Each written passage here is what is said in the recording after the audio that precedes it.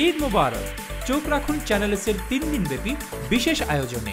ঈদের দ্বিতীয় দিন দেখুন।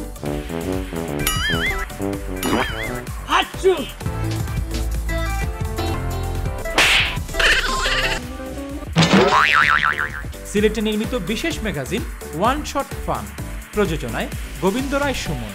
প্রচারিত হবে সন্ধ্যা আটটা তিরিশ মিনিটে। এই ঈদে চোখ রাখুন চ্যানেল এসে